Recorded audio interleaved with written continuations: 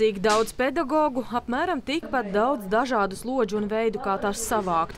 Divu gadu laikā vien gandrīz dubultojies to pedagoģu skaits, kas strādā vairāk nekā slodzi. Tā tad ir uz izdegšanas robežas. Balansēt slodzes atbildīgās amatpersonas piedāvā pārējot uz 40 darba stundu nedēļu no 2025. gada septembra. Un lūk, kā varētu veidoties pedagoģa slodze. Iecerēts, ka maksimāli stundu vadīšanai pedagogs varēs veltīt pusi darba laika, jeb 30 mācību stundas klases priekšā.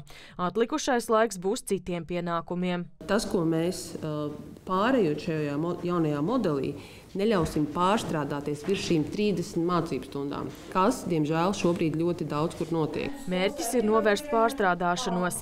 Darba apmaksā sola iekļaut arī starpbrīžus, kas būs laiks citiem pienākumiem. Vai mēs esam pazaudējuši starpbrīžus? nē, starpbrīži ir ierēķināti citos pienākumos. Tad starpbrīži tāpatās tiek ņemti vērā, tie ir ierēķināti citos pienākumos un ir daļa no tātad slodzes, kas ir saistīti ar, ar to.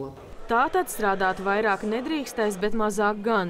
Drīkstēs arī koriģēt mācību stundām un citiem pienākumiem paredzētā laika apmērus. Ar vienu noteikumu, ka vairāk par 30 mācību stundām nedrīkst būt, izņemot, kad aizvieto prombūtnē esošu kolēģi vai aizpilda brīvo vakanci. Mēs ar šo uh, neparedzam, ka pilnīgi visiem pedagogiem ir jāstrādā 40 Jā, stundas nedēļā. Arī tāpat kā šobrīd ir daļslodzes, ir nepilnas slodzes. Pilna alga būšot par 40 darba stundu nedēļu. Satraukties par ienākumiem nav pamata, saka ministre, jo modeli plāno ieviest vien no 2025. gada septembra, kad būs sakārtots skolu tīkls. Tas kompensēšot tās stundas, kas pašlaik tiek pārstrādātas, bet ar to nav mierā arotbiedrība.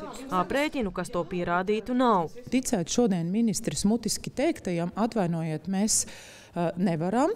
Daļa izies ielās.